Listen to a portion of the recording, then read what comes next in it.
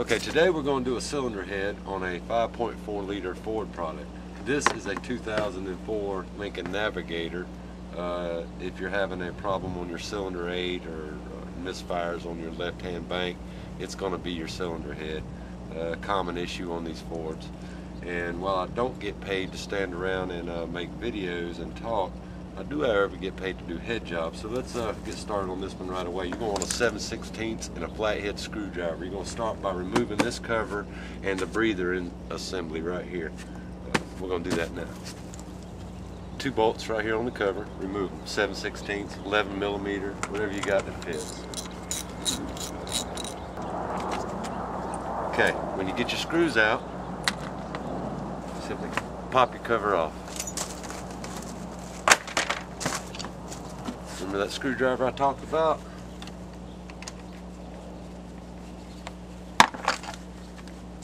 You'll also have to undo your breather line and a air charge temperature sensor right here.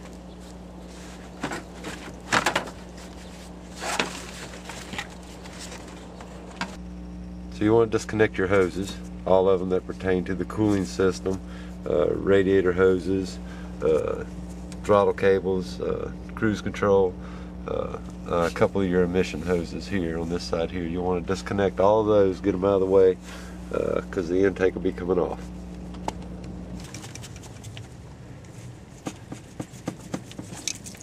Hope you got a pan down there like I do.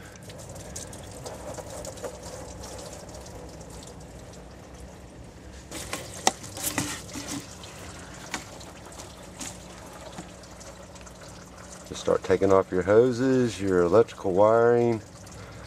Uh, you know, and if you think you're getting in over your head with uh, too many puzzle pieces, just remember that when you go to put this back together, uh, you know, you're going to have all these hoses and things oh my God, I can't do this. I just can't do it.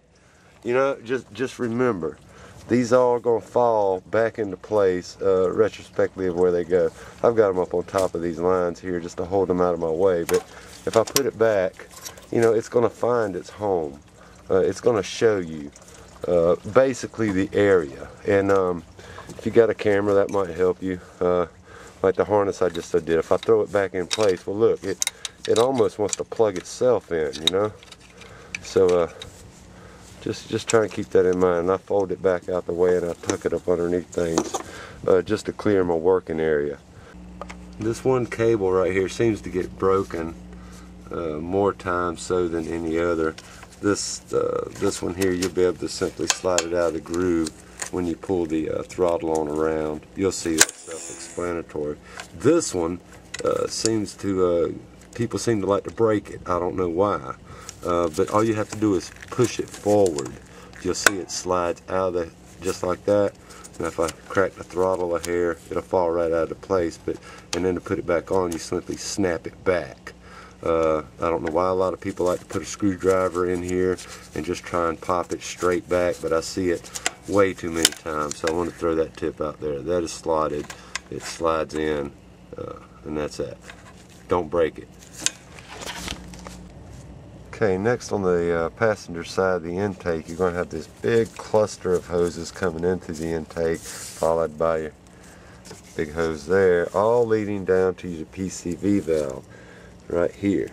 You'll follow them all down right there. Easy way to disconnect all this stuff is simply to pull out the PCV valve out of the valve cover.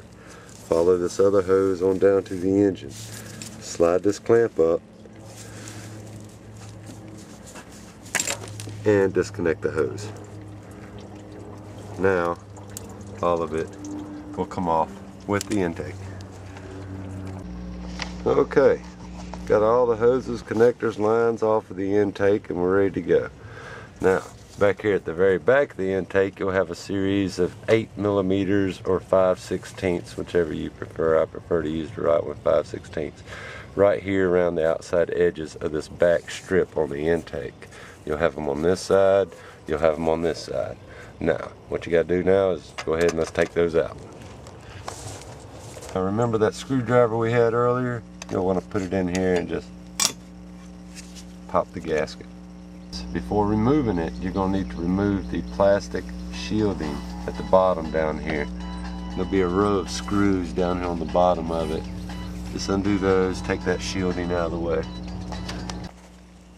Okay, and once you have your back top off, you'll want to take out the bolts for the EGR, the back intake bolts on both sides, one down the middle, one at the each end of these runners here on the front, and uh, get ready to take off the upper intake plenum. You'll also have to undo the power steering reservoir brackets from the intake manifold, or the upper plenum. Okay, upper uh, plenum uh, come off pretty effortlessly. and uh, we're ready to uh, take off the lower section now and it's going to be the same step as the last you're just going to run down these side here removing the bolts that attach uh, disconnect these uh, uh, fuel injectors uh, one by one move the harnesses out of the way and then we'll pick the intake up slide it forward and there'll be a special set of tools we'll need to disconnect these fuel lines and I'll show you how that works in just a second let's get busy taking out these row of bolts on this lower intake so what I did was unplug the injectors, took out the bolts down either side. Now instead of uh, disconnecting the fuel lines at the back, back here with the uh, disconnect tool, it's kind of tight and them tools aren't going to be available to just anybody. What I did was I grabbed a hold of these injector lines and pulled them up, separating them from the injectors. That way I'll take the intake out in one piece, leaving the lines behind. Okay, so there we are with the intake out. Uh, relatively uh, easy job, huh? Well, don't get carried away yet. We're just not getting going good. Alright, so what we're going to have is the left bank cylinder head. Left bank refers to the driver's side cylinder head. Cylinder 8 all the way at the rear. We're going to start by taking off this valve cover on this side. And uh, they're attached here on the outside edges as well as here through the middle bolts. But before we do that, we're going to want to start by taking off this cover here in the middle. This is covering up our coils, coil packs, and a little valve valleyways down there to our plugs. But before we can remove the valve cover, we're going to want to remove this cover to uh, get to the coils.